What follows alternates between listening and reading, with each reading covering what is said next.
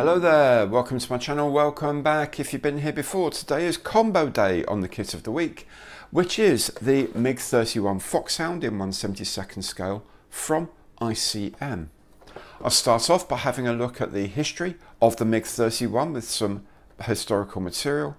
I'll have a look at what you get in the box for your money and then of course I'll show you how to make the kit. Now all of these bits come as chapters. You can hop backwards and forwards as your heart desires.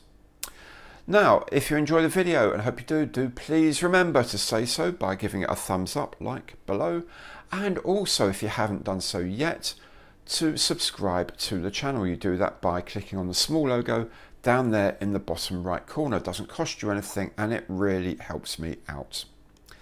And of course, if you want to give a bit more concrete support to the channel, you can do that through super thanks below and you can do that through Patreon or through Buy Me a Coffee. Links to both of those are in the information box underneath. Enough of all of that, let's get on and make a start by looking at the history of the MiG-31 Foxhound.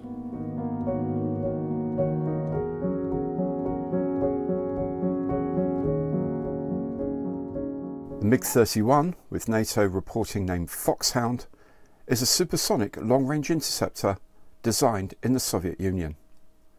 It was intended as a replacement for the MiG-25 Foxbat. Indeed, it shares many design features with the earlier aircraft, but has substantially better avionics and flight characteristics.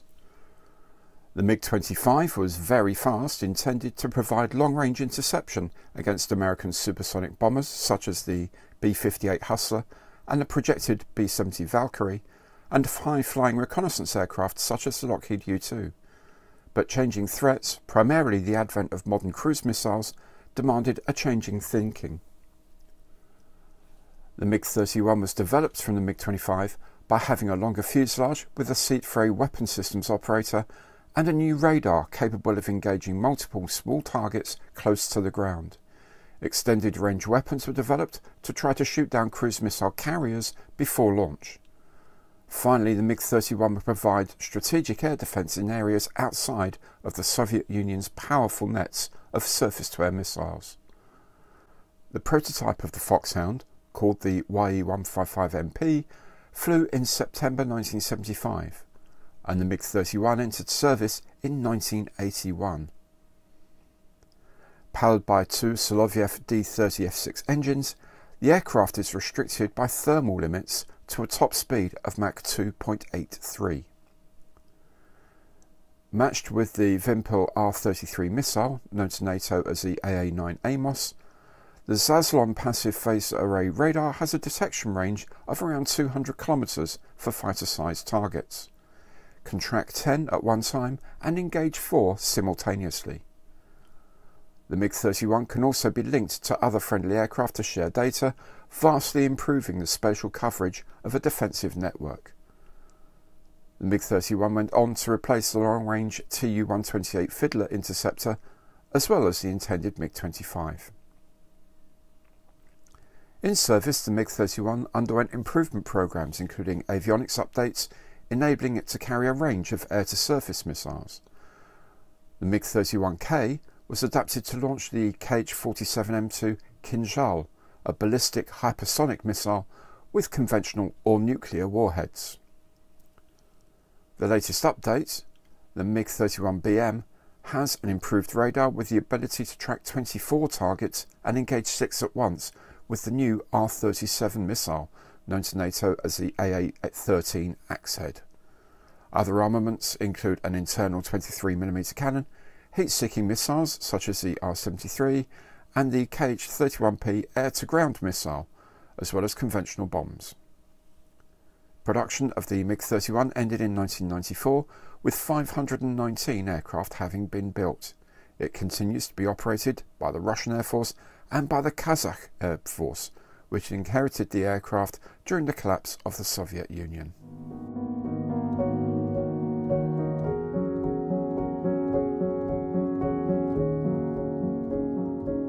The first ICM kit of the MiG-31 appeared in 2005, but this was just a rebox of the Condor kit of 2001 with new decals. In 2006, ICM released their own new tool of the Foxhound. This has been reboxed three times since, most recently in 2015.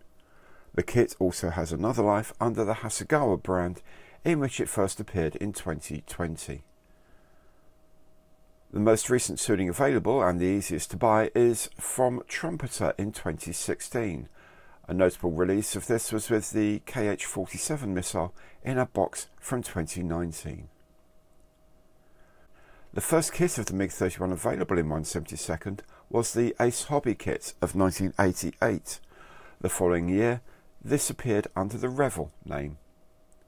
Zvezda released their tuning of the MiG-31 in 2000 and have kept the same moulds for their nine subsequent re-releases, including in 2017 as a model set with paints, brushes and glue. The Condor release of 2001 I mentioned earlier appeared both under the Eastern Express name from 2007 and the Mr. release of 2017, as well as that first ICM release.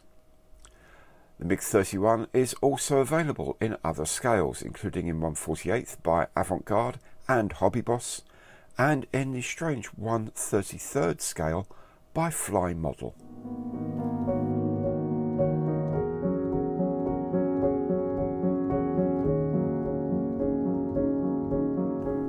The box has some reasonably nice artwork and it opens from the top. The contents are not too closely packed in. On the top here's the instruction sheet. This includes a diagram showing the placement of all the parts on the sprue. The parts themselves come in a cellophane bag. Also in the box is the small sheet of decals. Let's have a look at these bits in more detail. There are four plastic sprues all told. Sprue A has just the upper and lower fuselage halves. Sprue B has most of the rest of the structure, the wings, tails, undercarriage and so on.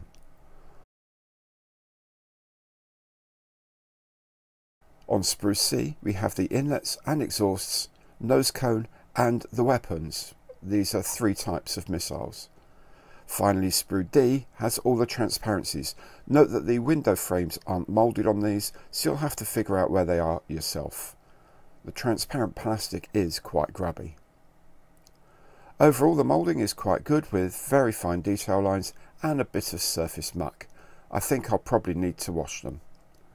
There are a few bits of flash at the edges, but otherwise not too bad at all but Sprue C has the worst flash, notably around the missiles and on these engine intakes, so these will need a bit of work on them, but nothing too terrible to be honest. The edges of the exhausts would also need a bit of a clean-up. The instruction sheet is no nonsense with just three pages for the whole build.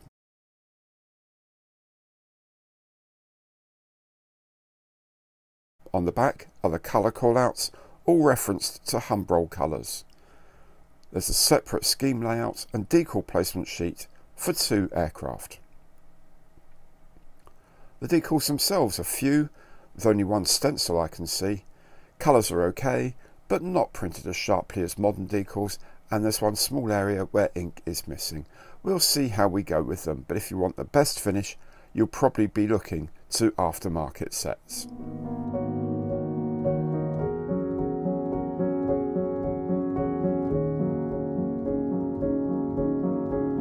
I've washed the parts in dilute detergent, then given them a gentle coat of primer. Now, a lot of pieces are right up against the sprue, so you'll be using a craft knife or very expensive, very pointy nippers to get them off. Take care as the plastic feels a little bit soft. I'm starting with the ejection seats. They have a centerpiece and two side pieces on each seat. The middle of the seat gets painted black. The cockpit tub is getting a coat of mid-green. It's not the right colour, but it's close enough for a closed cockpit. I'll also paint the inside walls of the fuselage. Next to the instrument panels, these come with nothing at all other than the big radar screen moulded in, so I've used a ragtag mix of old spares from a Sea King, a Harrier and a Hurricane, painted the screen green and then used a toothpick to dot some odd switches here and there. Shout out to Randy Taylor for reminding me of that trick. I think the panels actually end up looking okay.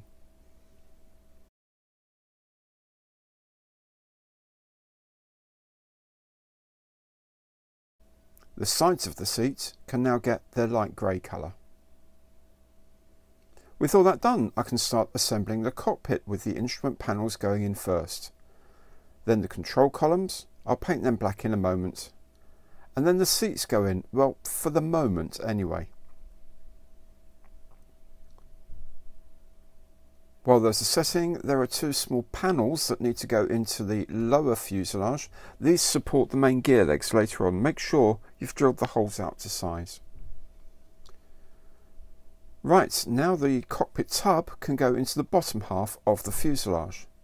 Then the upper half can go on top. Now, remember I said the seats were there for a moment? Well, I found it a lot easier to put the fuselage together without the seats then put them in later on.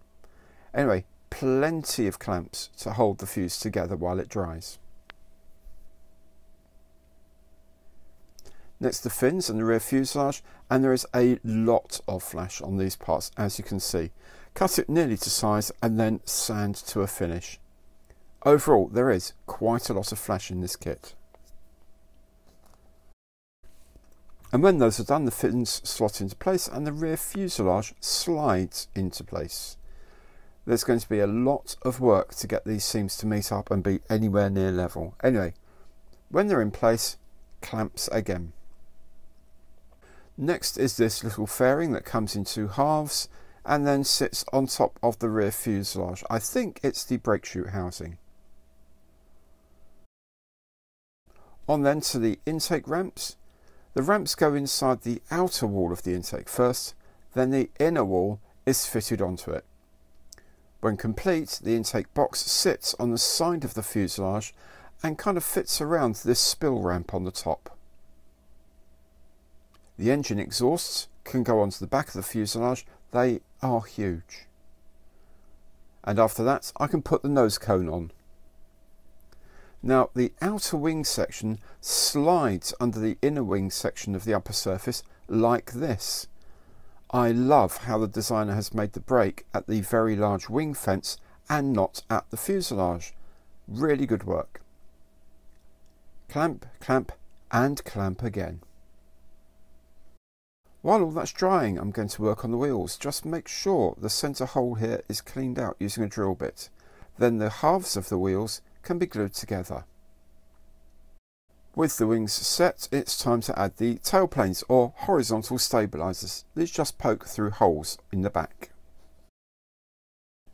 Then it's time to clean up all those panel joints. I'm using this stuff called Perfect Plastic Putty. It's pre-mixed, water soluble, so it can be smoothed easily and it's very fine grained. Best of all, it dries in about an hour. It's a lot easier to use for small to medium sized cracks than something like Milliput. As you can see, there is quite a lot of it being used while I'm fitting this back of the instrument panel. With the wheels set and sanded, I'm going to start painting them. Steel wheels in the middle and rubber for the tyres. Now before I go any further I must remember to put the ejection seats back in because next I'm putting on the canopy. The canopy glass here is really grubby. You can just make out the break between the hazy and even more hazy bit that hints at the window positions. I'll do what I can and mask them with tape. Given how flash ridden the kit is, the clear parts go on like a dream with just the tiniest drop of ultra thin cement to hold them in place. Okay, so initial sanding done and I'm going to give the whole thing a coat of light grey primer. This will show the areas I need to revisit with filler and sanding. There are some more bits to go on. This IRST unit slots in under the nose and this electronics pod goes under the fuselage. Then when I'm happy with the surface, I'll do a final coat of grey primer. Next, I'm going to spray on some pre-shading for the seams. Nothing too strong, so I'm using dark grey instead of black. When that's dry, I'll apply a top colour, a gentle spray all the time. I'm using a dark ghost grey as the closest thing I've got to Humbrol 166 as suggested. Just go over it lightly until you get the desired effect. Now with the fuselage paint drying, I'm going to make a start on the undercarriage. First thing to do here is drill out some of the holes as they're a bit messed up. Then I can add the main wheels to their bogies. There's also a supporting strut that goes on the side of the main gear leg you need to fit now. And while dry, I'll do some of the panel lines. Now I tend to go in quite strongly with the diluted wash and then quickly wipe off any excess. I can also paint the exhaust burnt iron inside and dark steel outside. Now I've masked off the nose radome for a coat of medium gunship grey. I'm also painting the various ECM detection panels freehand. And then back at the nose, I'll paint the anti-glare black panel. Now for the fun part where the instructions are a little vague. The nose undercarriage is straightforward, just slots into place nicely, but the main gear is another story. Don't pre-assemble it as the instructions suggest. First of all, the main gear leg needs to go into place. There's a small hole if you can get the very small alignment peg into it. I couldn't as I had to sand down all the sides to get the gear in at all. So get that positioned in the right place first. Hold it with a bit of glue. Next you then have the front actuator arm. Now again there is a locator hole but again I couldn't fit it in because I needed to sand the piece down to size. So it just went roughly into the right place. The important thing is it attaches to the inside of the main gear leg. While it's drying, maybe you can fit the pylons for the weapons. I'm just using the inner pylons on my model today. Now the gear doors come as a complete closed unit, so you have to chop them up into the constituent doors. These go into place relatively simply. And at the front of the bay are the air brakes. There's an actuator piston that sets the angle of the open door correctly.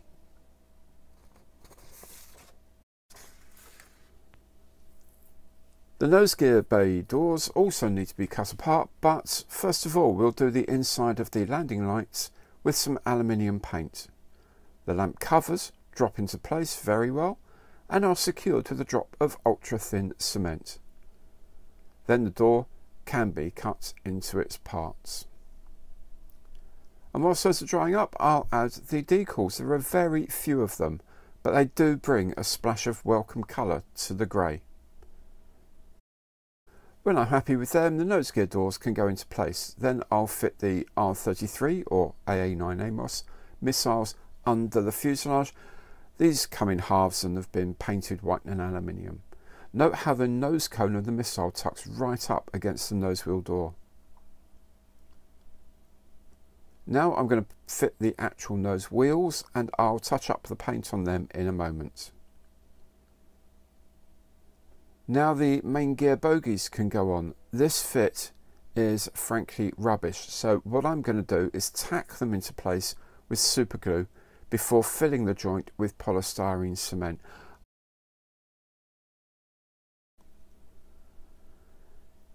Anyway, when it's all set, I can take off the canopy masks, add the last missiles on the wings, a few antennas, and the kit, surprisingly, is already done. Let's start with the fact that this is a 2006 kit from Ukraine and by modern standards is not the best moulding. Plenty of flash and really not great panel fitting. Oddly, the panel lines are really finely moulded and bits like the overwing fence are delicate and crisply done. But you know what, this big old thing cost me just over a fiver in a sale, so I'm not complaining too much. And of course it gives me plenty of scope to practice some modelling skills. ICM has come a huge way since those days, as the recent OV10 Bronco will show you if you make one, but these early kits are all right to build if you've the patience and a bit of knowledge. So there we have the MiG 31. Now if you've enjoyed this, and I hope you have, then please do remember to say so by clicking on the like logo below, the little thumbs up. And also, if you haven't done so yet, please do subscribe to the channel. All you have to do is click on the logo down there. Doesn't cost you anything, helps me out enormously. In any case, I hope to see you again very soon. Bye bye.